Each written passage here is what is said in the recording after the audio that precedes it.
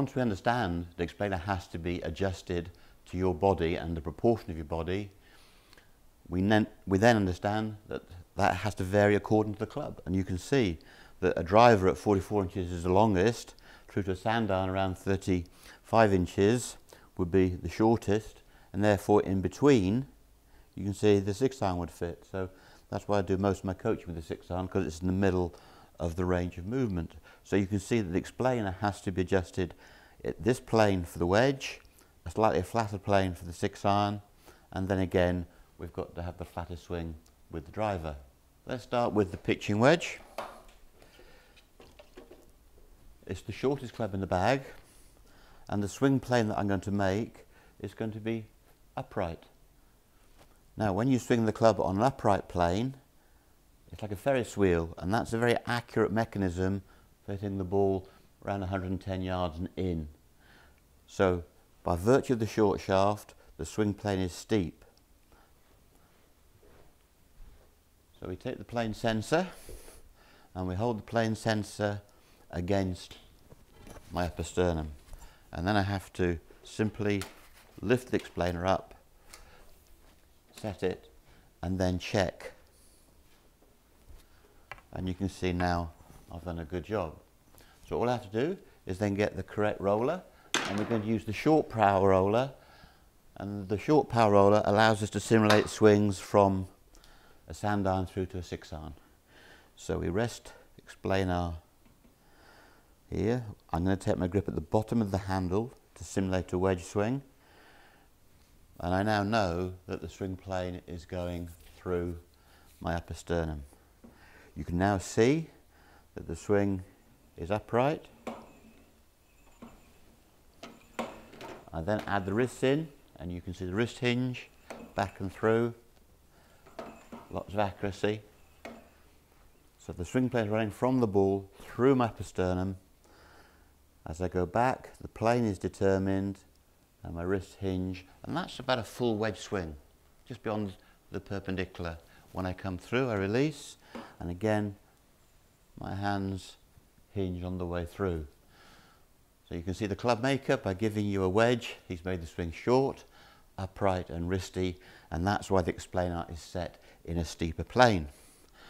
Okay, so let's go to the six iron and this time we're going to go to the bottom of the grip on the long roller and that's going to give us a sort of six iron simulation, that sort of length of shot just here, okay? But you can see already the plane is changing. So, you can see now that if I go down the handle, you can see the Explanar is too upright, it's in the wedge setting. So I have to drop Explanar down just a few degrees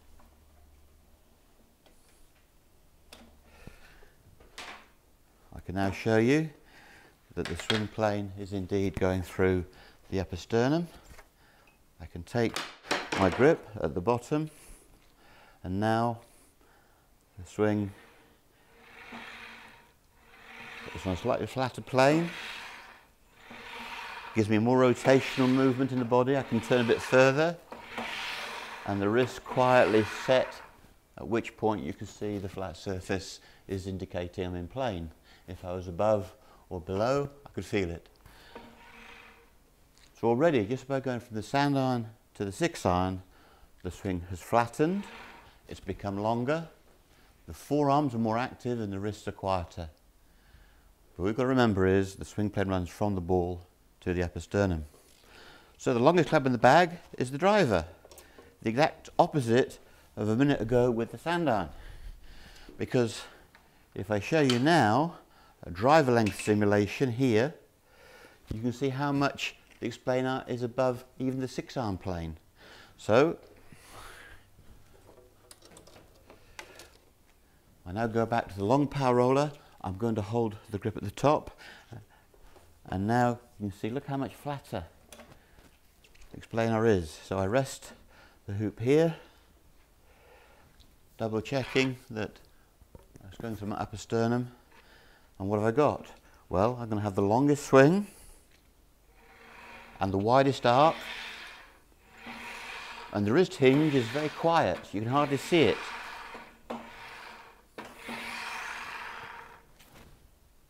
So as the roller lengthens, we simulate the driver swing, the swing itself lengthens, there's more form rotation, less wrist hinge. With the wedge, we're hitting the ball 100 yards and in, we're going to the flag, short range. With a driver, you hit the ball nearly 300 yards into a 30, 40 yard fairway, it's a bigger target. So by adjusting the hoop, the club maker simulated swings, in this case, from wedge through to driver.